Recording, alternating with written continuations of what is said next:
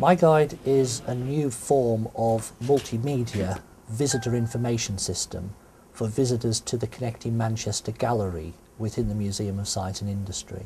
It's a handheld guide which as visitors walk around the museum will provide additional information about the exhibits on show and because it's multimedia that additional information can be in the form of audio, images as well as video.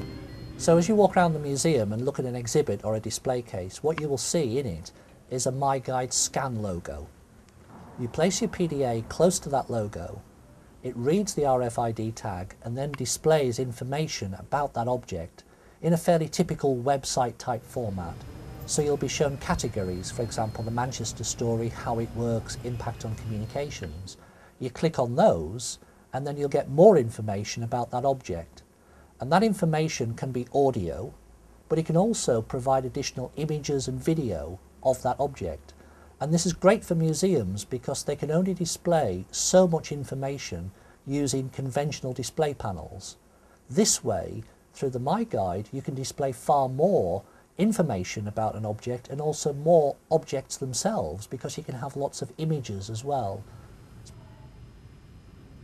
The big technical issue that we had was the handover with the Wi-Fi. Because the content's all delivered over the Wi-Fi network, um, what you need is enough Wi-Fi coverage to cover the whole space.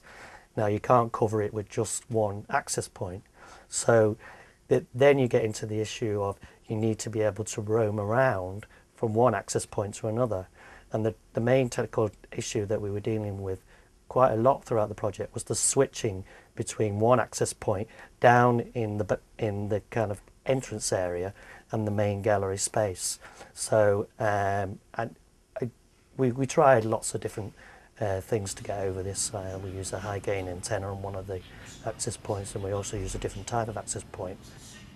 mi-Guide comes straight out of the research we've been doing at the university into what's called context aware systems. Imagine you have a mobile phone the more that phone knows about you, where you are, what you're doing, the more it can tailor the service that it delivers to you. If you take that basic concept of context awareness, mi-Guide is an example of it. Because mi-Guide knows where you are in the gallery, it can send the right information to you at that moment in time.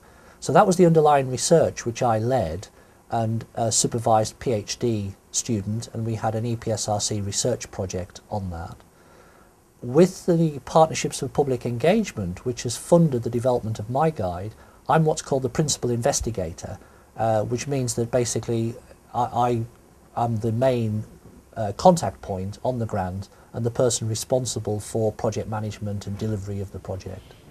mi-Guide is working. Uh, it's delivering a service at the museum.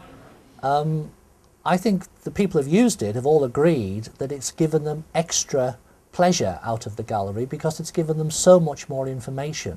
They find it relatively easy to use. Um, so there are always issues with technology like this. It's new technology, so there are one or two technical teething problems we've had to deal with. It's also a new technology for the museum. So they themselves have had to learn how to adapt and exploit the technology as well.